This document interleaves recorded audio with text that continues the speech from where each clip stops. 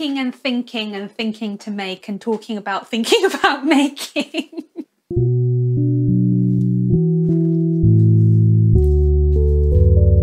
Hello and welcome to the Crimson Stitchery, a video channel about making all things beautiful and useful. My name is Anushka. You can find me elsewhere online as The Crimson Stitchery, such as on Instagram or in our Ravelry group. And as always, links and show notes for this video can be found in the down bar here below on YouTube. Thank you so much for being here with me for another episode of my Knitting Plus Other Things podcast. Knitting and speaking and rambling and making and drinking hot coffee, which I think you can just about glimpse. I've got a very hot cup of coffee that I've just finished brewing. Um, a few months ago, quite a while ago, um, a viewer very kindly bought me a coffee on Ko-fi.com and she bought me quite a few actually. And she said, You always say in your videos that you're drinking cold tea or cold coffee, so please buy yourself an insulated mug. And I thought that that was so sweet. Um, I didn't buy an insulated mug, but um, just that, that little anecdote just um, crops up. So thank you. My viewers are the best and so um, kindly. Uh, but recently I did treat myself to a very, very beautiful hand thrown um, ceramic mug it's been thrown on, on a wheel uh, and you can still see all of the rings and the ridges from when the clay, you know, goes up and down and your hands uh, move it. pottery novice here. I'd love to be good at pottery. And um, hang on, I did a ridiculously bougie thing and I bought a mug which came with a matching ceramic coffee filter. So it hasn't got the coffee grounds in it. I put it in the sink so that I could show you this but it's matching. Um, and it's just from a, a, potter on Etsy bought directly from him. Um, so I was really happy with that. Um, it's just so nice to buy something that you use every day that really does feel like a work of art um, and I'm really into ceramics, you know, I am not letting myself learn anything to do with ceramics for good reason because I'll just never do anything again. Um, there's so much that I love about how it's really tactile, how it's a very meditative process. I like the fact that you have to go into a specific space for it, into a clay studio, which is completely different from knitting, right? Because you can just bring it around with you, you know, it's portable, it's small, it's dry, you know, knitting and, and kind of small handwork. But anyway, I love ceramic and I'm very happy to support another maker. So this is completely, completely unsponsored, but I will put a link down below uh, with the name of the Etsy shop. I think his name was Tim. Tim Fenner? I'm not sure. I'll put it down below, totally unsponsored, but just to be nice to a fellow creative um, yeah, good karma, good karma. Um, so thank you so much for tuning in. As always, this episode of the Crimson Stitchery, number 53, has been made possible thanks to the wonderful support by my Patreon supporters. Thank you so much for keeping this channel going through your monthly membership subscriptions. I always love hearing from you. So if you enjoy the Crimson Stitchery, if you've been thinking about, you know, maybe joining our Patreon for a, for a little while, perhaps, um, do head over to patreon.com forward slash the Crimson Stitchery to check out what you can get um, in return for your monthly subscriptions. And also we have a quarterly knit, knit night, which will be coming up at some point in April. So I will be posting details about that shortly. So thank you so much to all of my Patreon supporters, as well as everyone else who continues to watch the channel.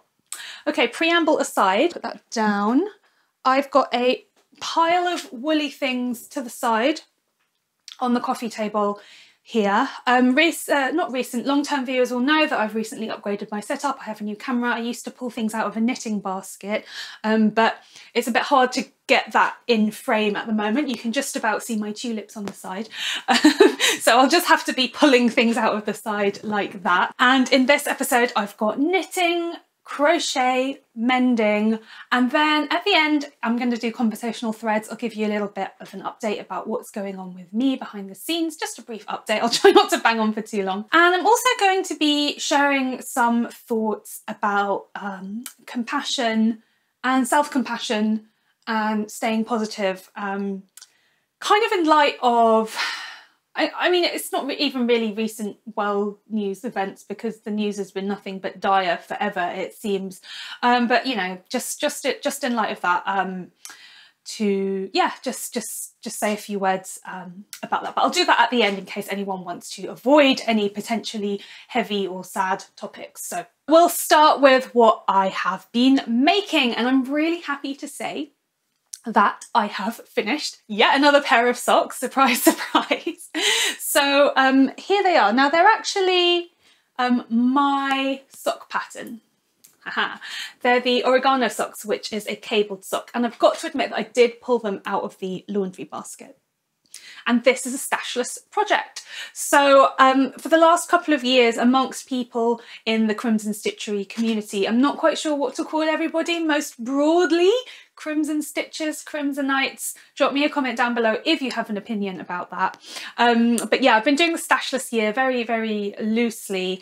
Um, and so that just involves knitting from your stash in a nutshell. and so it was really good to tackle some more of my sock yarn stash, which I did mention on this channel um, back in January. So I pulled out this orangey autumn leaf kind of burnt orange coloured um, sock yarn, which I bought quite a few years ago intending on um, working it up into a sock sample for a design and then changed my mind about the colours or something like that. So it's Novita Nalle, which is a commercial Finnish sport weight sock yarn. Uh, it's very, very cheap. Uh, it's less than £10 for a ball and you get like a big ball with which just goes on forever basically you know a lot of generous um, meterage meters to grams, you know, ratio. Um, I think you could get it from John Lewis in the UK, you could order it online. Um, I was told by a friend from um, a knitting group that we both used to go to. Hello, Nomi, if you still watch, I don't know if you do, um, who at the time was uh, living in Finland. I'm sure she said that she saw Novita Nalle in, in grocery shops that you could just pick up with your, you know, snacks and apples and stuff. So I thought that that was pretty cool. So Novita Nalle, I really like it. I, I know that there's a big, obviously, movement towards moving away from superwash sock yarns, but as far as they go, I think that this is extremely affordable and, you know, um, holds up holds up pretty well. And there's just something about making socks in sport weight yarn rather than fingering weight yarn that just makes them go so much quicker. Just have like a few less stitches per round somehow. It just makes a big difference. And then they're, they're not too thick to wear in normal shoes. You can still wear them in your boots without kind of feeling really like your feet are just stuffed in. So I really like that. Um, so I, I had this yarn and I didn't know what to do with it. I thought, oh, should I do another design? Or, you know, in the end, I just decided that um, because I wanted to have more cabled socks. So I decided to cast on again for my own pattern because it has such a nice, nice, nice cabled pattern. It's really fun. And I did pull these out of the laundry basket, so they're a little bit uh, dusty and crumpled, I'm afraid to say. Um, I ran out of yarn because um, I had been naughty and I had put the orange yarn into another project before making the socks. So I was like, oh, whenever I knit socks, I always have loads of leftovers. So I'll use these lefto these pre-leftovers in a so-called scrap project, multicolored project. That was a total mistake. Um, shouldn't do that. Don't do that, you know. Learn from my mistakes. Just just use leftovers when they're leftovers. Don't make pre-leftovers because this is not the first time that this attitude has bit me on the bum. And the reason for that in particular is because cabled socks use more yarn. That's just what happens. They use more yarn, there's more stitches because they're being twisted around in the cables uh, and the tension's different. So yeah, cabled socks always use more yarn than normal socks. So I didn't have as much left over as I had thought. Um, so then I had to knit the toes in a contrast yarn, so another leftover in a dark brown.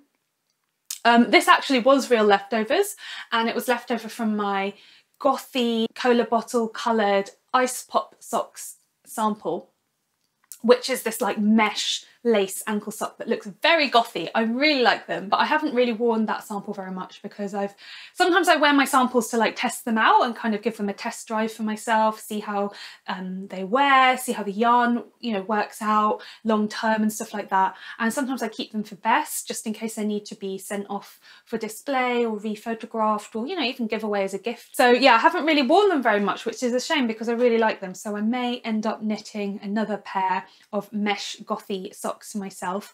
Um, I love the pattern. There's a very fun little cable twist around the cuff which is like it's actually quite difficult to work but it's only one or two rows so it's like after you just get through that the rest of the sock is plain sailing so yeah lefto uh, leftovers for the toes and stash for the sock. And yeah, there was just something so comforting about um, knitting a project that I'd done before, that I'd done several times before. In fact, I'd, I'd knit the oregano sock sample twice.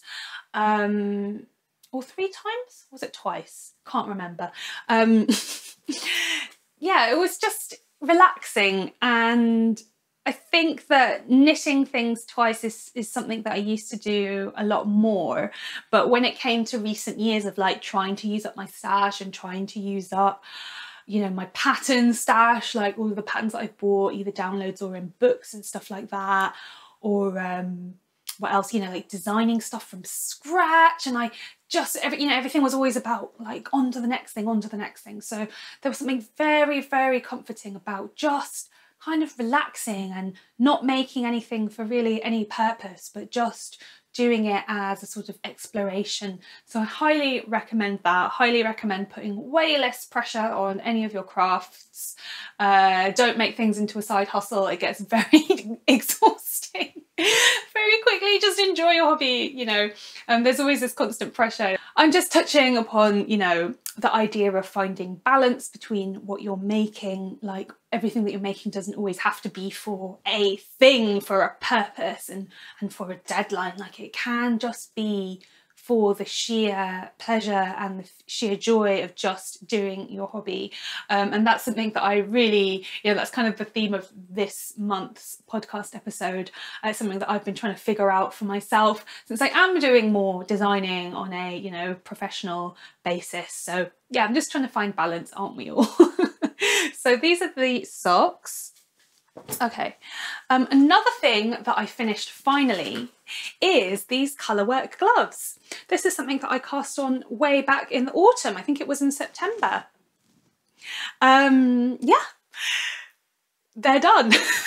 what to say? This glove is from the book Warm Hands, edited by Jeanette Sloan and Kate Davies. And Jeanette kindly sent me this copy for review. So thank you so much, Jeanette. Yes, this was a gifted item, but obviously all opinions are always my own. So this is what they look like. So the glove is called Blue Interference by Claudia Fiocchetti and it's done in grey, cream and blue, worn by this very happy girl. She's so happy to have these gloves. Good for her. Happy.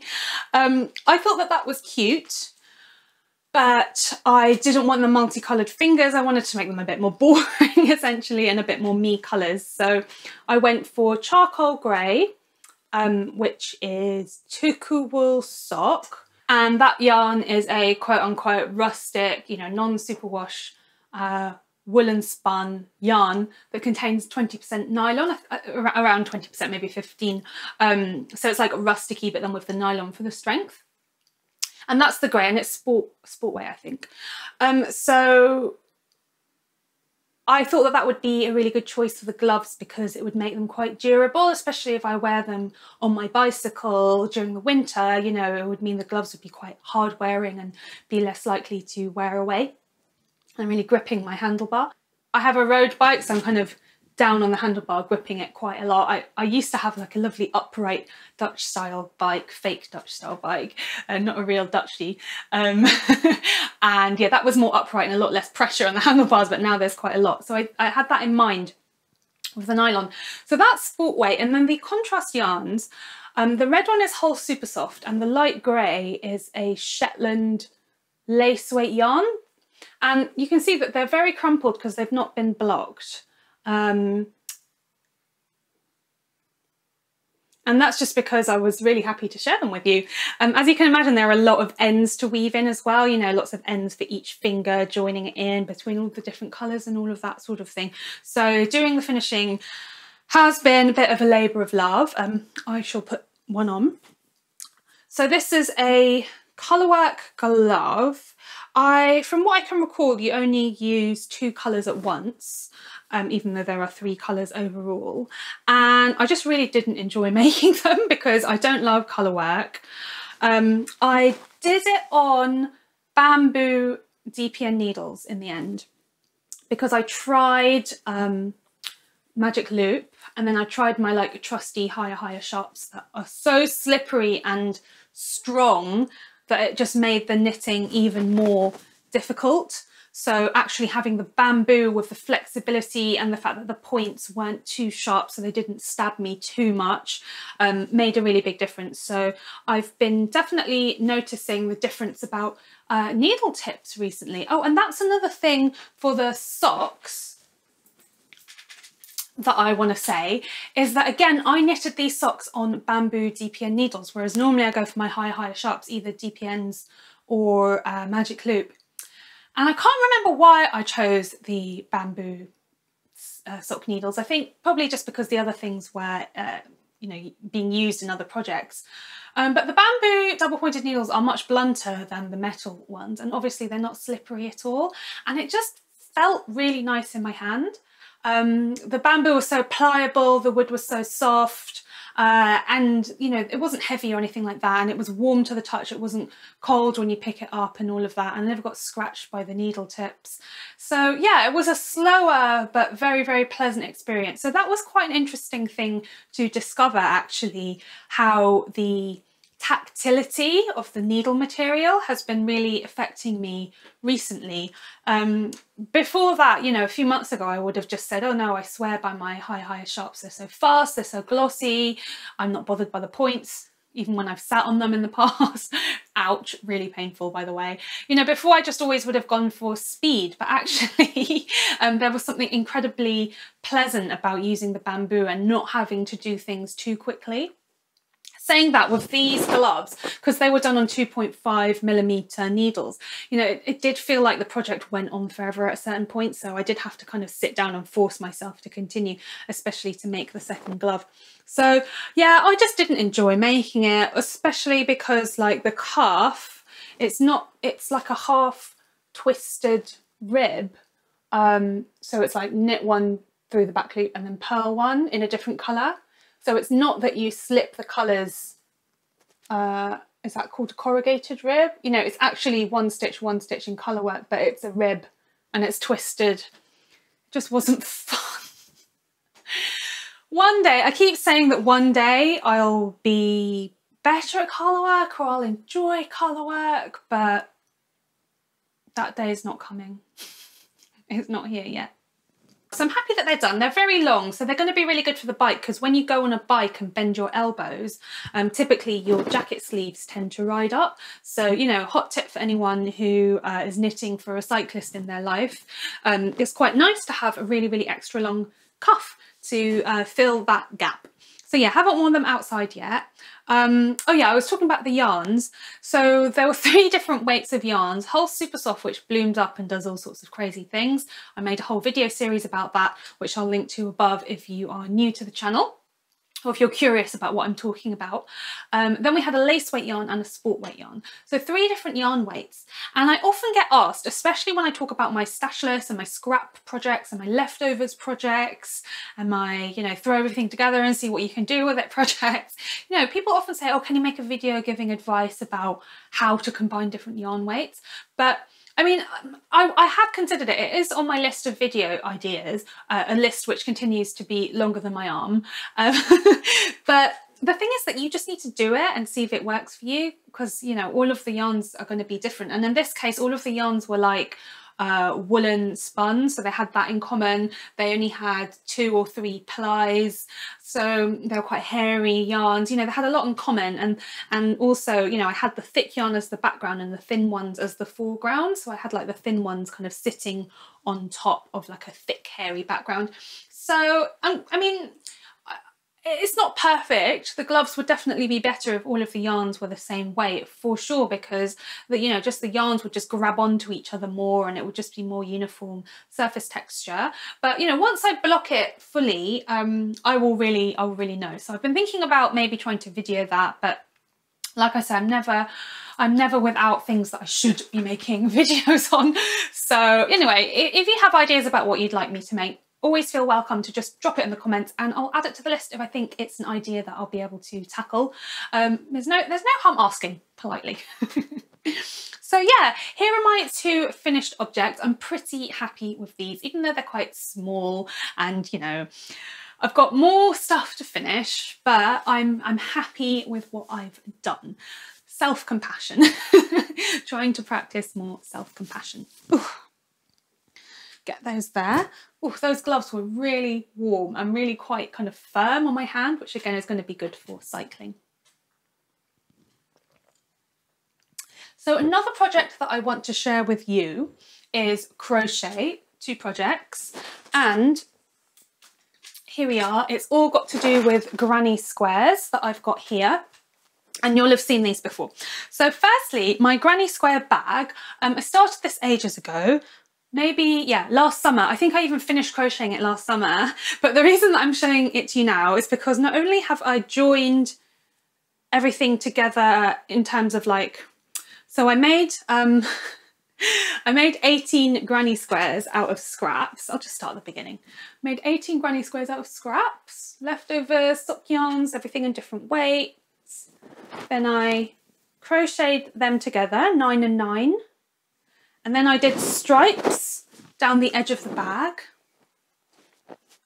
So I had my two squares, joined them together around as stripes, then I went round the top and then I started sewing in the ends and that took months, absolutely months. So here's the inside, here are the guts, as they say. Yes, you see?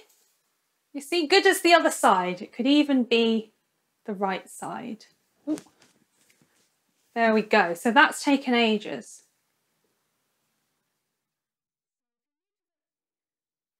So if you don't remember, and quite frankly, why would you? Um, I got the idea for this bag um, when there was this Vogue article that I saw on Ravelry about uh, handmade bags, crochet macrame mostly.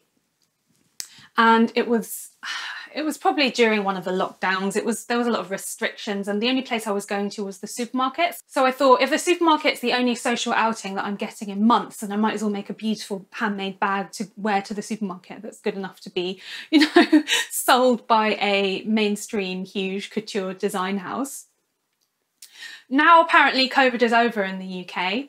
This is what this is what they're now they're now saying. As usual, we're glossing over the news at the Crimson Stitchery. We're taking a really broad sweep. According to the UK, COVID is not a thing anymore, apparently.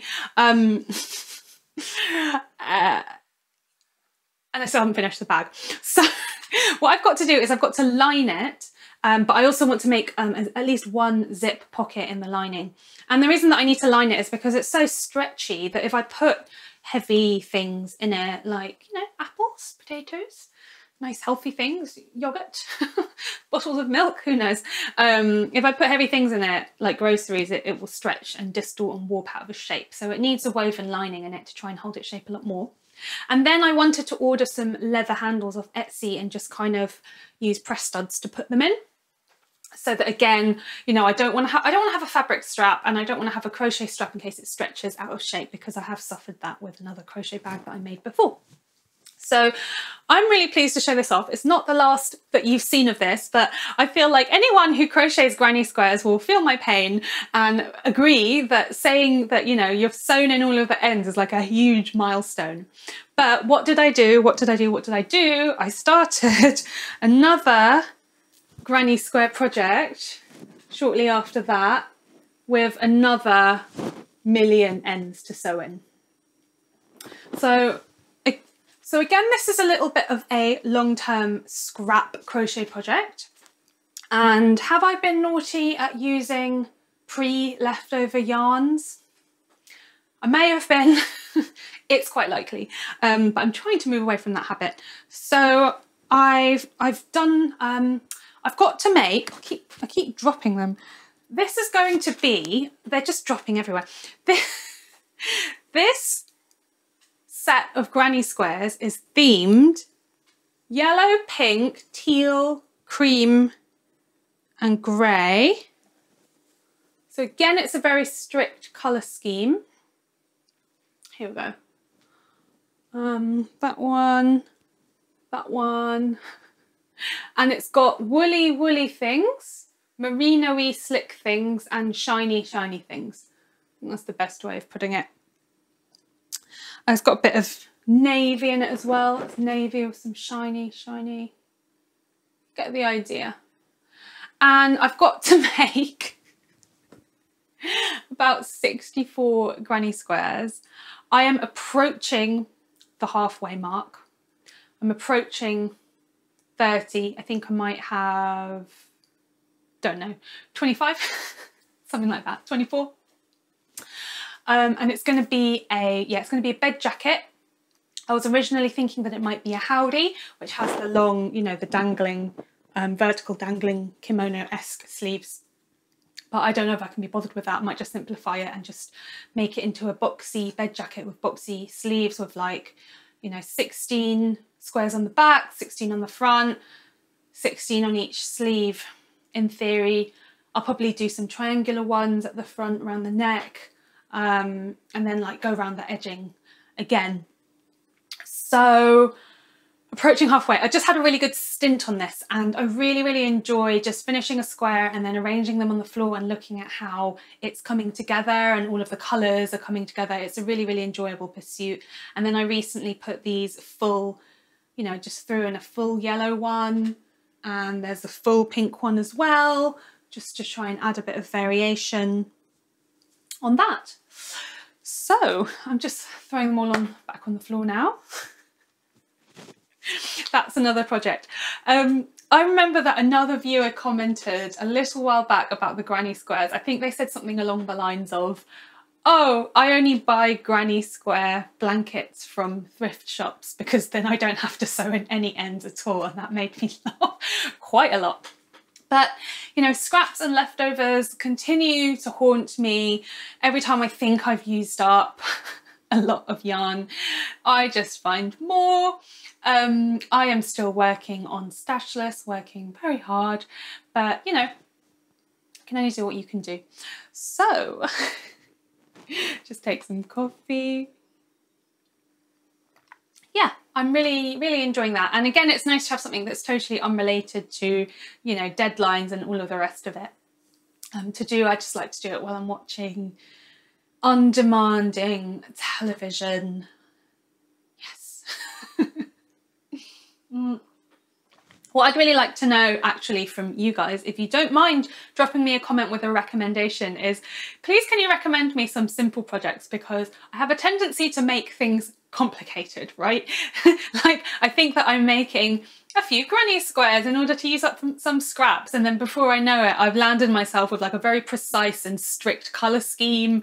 You know, I'm, I've got these big ambitions and all of the rest of it. Um, there is definitely something really nice about having a long-term project too.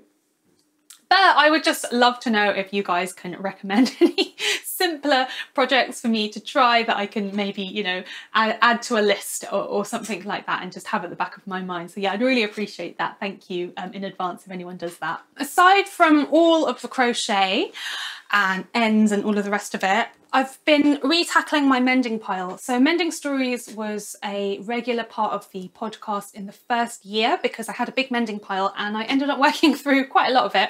And now the mending pile has grown again, which is only natural. You know, we wear our clothes a lot and therefore they show the signs of wear.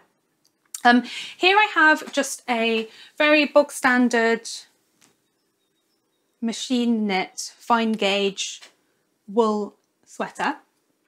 It's cotton and cashmere, so it feels really nice. And I tend to wear this to sleep in, especially in the winter.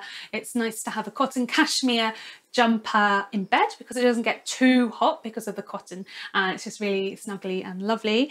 Um, and it is a little bit moth-eaten, I think from an old attack. You know, this is a this is a very old jumper but you know was it might have even been thrifted to, to begin with. So it's been in the freezer multiple times.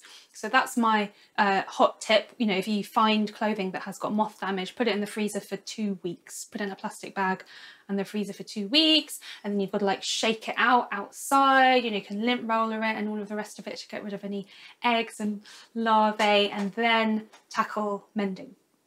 Um, so it had been getting quite worn in different places and there's already little little darns that I've made and shown on the channel a long time ago. So here was a little bit of a frayed bottom edge that I did a darn in a contrasting steel grey colour. So I decided to stick with that. And the area that got some wear was at the bottom of the sleeve, um, the cashmere had worn away and just left the cotton mesh. So it's quite similar to when you have like the heel of a commercial sock wears away and you have the nylon mesh. So what I did was I did duplicate stitch. So I had a very, very thin um, darning thread. So it was like in between a lace weight yarn and a sewing thread, somewhere in between and a bit hairy. I think it's probably synthetic. Um, and it was a darning thread that came free with some sock yarn because there's a brand called Lang Jawoll who I believe are Swiss German company. Um, just makes me want to say that, jawohl, you know, to the wool. At least the skein that I bought, you know, they tend to have, they tend to sell their sock yarn with the yarn and then inside a little bobbin of matching coloured darning thread, um, which you can either use to mend your socks or you can use it as a reinforcing thread and kind of knit along into your sock heels and so on and so forth. And I think that that's great. And if there was like a local yarn shop or something like that near me in London that did stock that yarn, it, it would probably be one of my, my go-tos, to be honest with you, um, because they have a fantastic range of colours and I just love having that matching darning thread. It's, it's so handy. So yeah, that's what I did. So pretty, pretty simple little mend there, but it's very, very satisfying just to be able to do these, you know, short little projects and just get a piece of clothing back into rotation very quickly. So um, if mending is something that you've been considering starting or, or, tackling or learning, I would highly encourage you to just do it and have a go and you will only only get better. You know, sometimes you have to experiment and work out the best way to do things for you and sometimes things go wrong and that's kind of that's kind of just part of it. I, I do I have come to think of mending as an adjacent craft to both knitting and sewing. So yeah, mending stories will now become a regular part of the podcast again, and I'm, I'm really happy about that. So yeah. Mm, I now want to move into conversational threads uh, toward the end of the podcast. For anyone new, conversational threads is essentially where I talk about what's on my mind, and I often draw together stories around popular culture, philosophy and thinking, um, through into craft, kind of like about the culture of making. And sometimes I do random things like read poems, haven't done that in a while. But yeah, it, it's the thing, making and thinking and thinking to make and talking about thinking about making. um, essentially, part of the podcast that I love. And then after that, I will give you an update about me. Yeah. So, um, what I want to talk about is, um, as I said at the beginning, compassion and self compassion. Um, because uh, Europe uh, is at war, or there's a war in Europe, that's probably a more accurate way of putting it because uh, Russia has invaded Ukraine um, and is committing horrendous war crimes. And you know the news of that of that is everywhere. People are very upset about that. You know, civilians in the UK, um, and it and it and it's horrible. it's horrible. I'm I'm acknowledging this and feeling like I'm being very trite and I am I apologize if if that is the case. I am not a news anchor. I'm just a normal person that's a designer and a, a PhD student that's just thinking about about how to articulate these things, and I'm just trying to acknowledge it.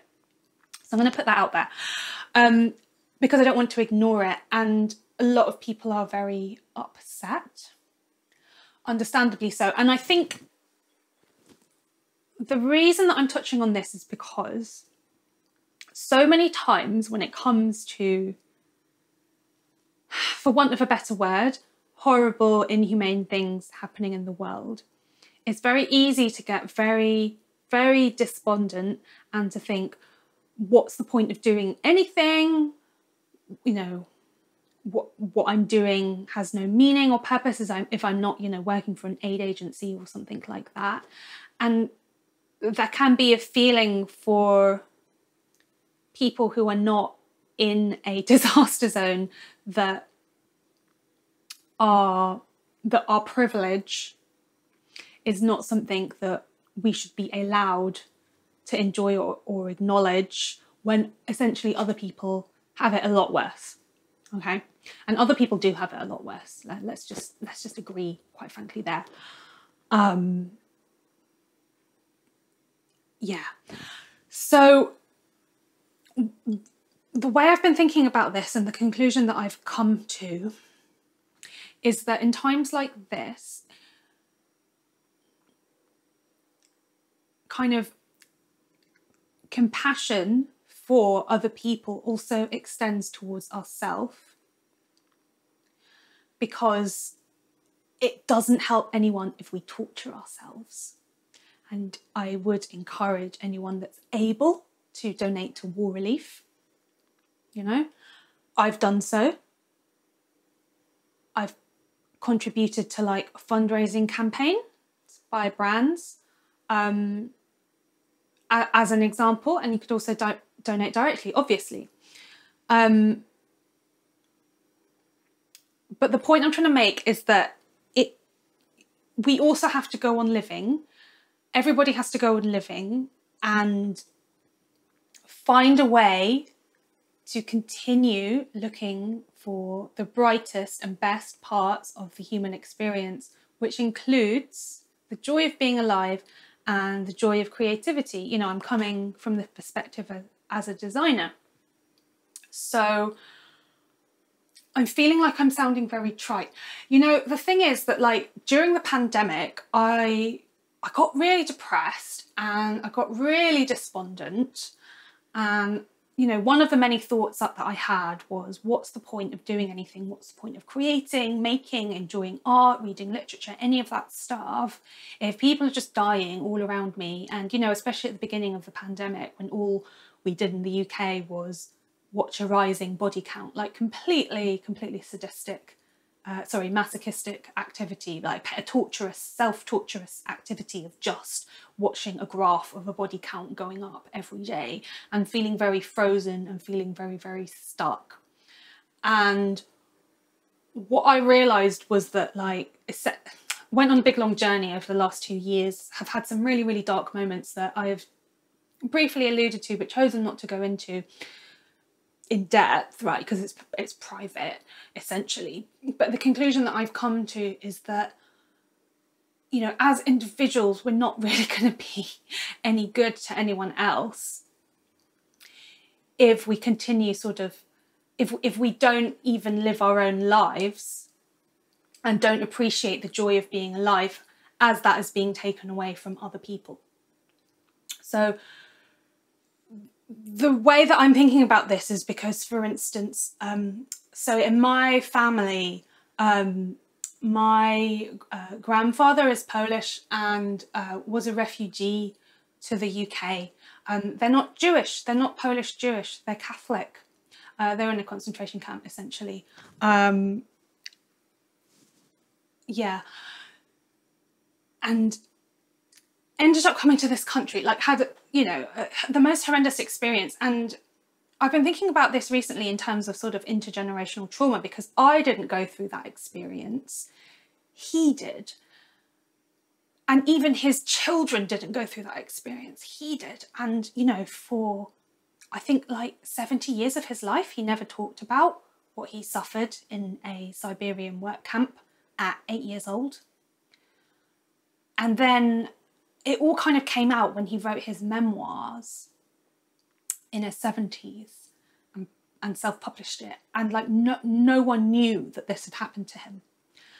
And i recently discovered that this silence is very common or can be very common amongst holocaust survivors. And i think because my family are not jewish I wasn't quite sure how to make the co- connection, like ethically for myself, with you know the Jewish community um, and Holocaust survivors.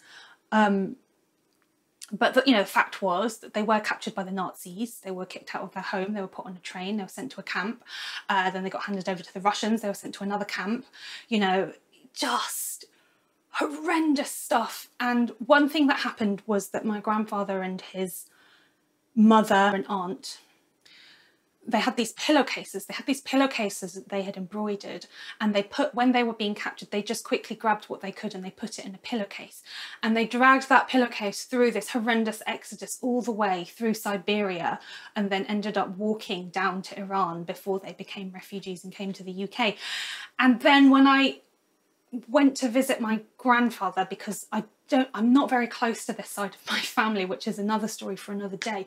But when I visited his house at, when I was age 15, he had these framed embroideries in the hallway of his house. And he said these, these embroideries are the embroideries that my mother, aunt, and grandmother did. They are the pillowcases that we took with us to this country, you know, through many countries. You know, it really was an exodus. Um, and again, this is all very difficult, and I'm probably not phrasing this correctly, and I'm not meaning any offense because Exodus is obviously a Jewish word. Um, they're not, they're Catholic. Um, I don't know, there's just something about the framing of the embroidery and the hanging of it in the hallway of a house. So every day you're walking in and out and looking at this tangible reminder of survival. And what is it? It's embroidery. It's women's embroidery on a pillowcase. And to me, you know, if that is not a testament to the significance of creativity in daily life and the importance of the use of textiles and art and craft in order to sustain your human presence and feel joy even in the most like horrendous, unimaginably horrendous circumstances. I don't know what is. Let's all keep making things. Um, I hope that that story was okay to share. It's something that I am really struggling to come to terms with, especially especially a few months ago when there was a lot of news coverage about the treatment of refugees at the Poland Belarus border, that really got me. And I thought, why is that? Because it didn't happen to me, right? It didn't happen to me. But never, never have never have they been resentful of the fact that I've not suffered like they had to suffer. This is what I'm feeling and this is what I'm trying to get across. So it's really important to have empathy and self compassion and not to allow inhumane, horrible war crimes and nasty acts that happen every day on the macro and on the micro level to kill our own lust for life, enjoyment of life, and appreciation of the gift of being alive. So that's what I have to say about the situation. There's a lot of family stories. There's a lot more I could tell you on both sides of the family. You know, I'm not going to. um, thank you for listening if you have done. Now I'm just going to quickly wrap this up. Um, the Crimson Stitchery is going towards a once a month video schedule at the moment because I'm writing up my PhD, hooray! and I am so delighted to say that I have now drafted all eight chapters and half of a conclusion, which means that I am moving into redrafting, hooray! And although that is tons of work, because I have to rewrite the whole thing, you know, update all of the research that I've done over the last few years, yada, yada, yada, there's still loads of work, but I no longer have a blank page. I no longer have a blank page. So I'm really happy about that. Um, I've still got a long time before the deadline, a long time, um, but I'm trying to pace myself. So because of that, you know, everything else with Crimson Stitchery and all of that has been significantly slowed down. And I really thank you for your patience and for your ongoing support. Um, I really, yeah, I really mean that because it is, it, it, can be, it has been such a lifeline, honestly, um, to know that there's there's other people out there who are enjoying making things and making connections with me as well. So I'm continuing on my kind of very focused one thing at a time game plan. um, and, and it's working out. Um, so yeah, that's a little a little happy update for me. It feels really nice to give you give you a happy update. Um, and I'm going to wrap it up for, there for today. So thank you very much for listening. I will catch you again next month for a podcast. And as I said, I'm incredibly grateful to everybody who supports this channel, either on Patreon or by buying me a coffee. Cheers on Ko-fi. And a shout out to my supporters at the Crimson Queens tier this month. It's Angie Scheitel. So thank you, Angie. If you're interested in joining me on Patreon, as well as meeting lots of other lovely people you get to chat with on our private Discord server, do head over to patreon.com forward slash the Crimson Stitchery. Until then, happy knitting, happy crochet, happy mending, happy being alive, um, and yeah, cheers. Bye bye.